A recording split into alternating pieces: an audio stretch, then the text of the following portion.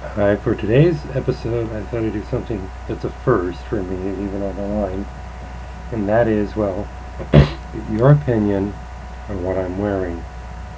Because you're not going to leave this shirt. This is a Van Heusen, and these pants. I Can't remember the brand.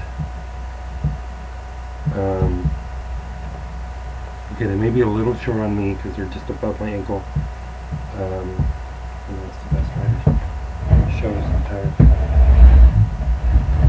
Can't, can't see. Um, Mirror. Okay.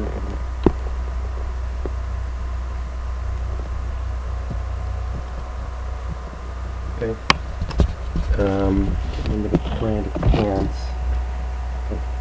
me one second here. But I found these yesterday.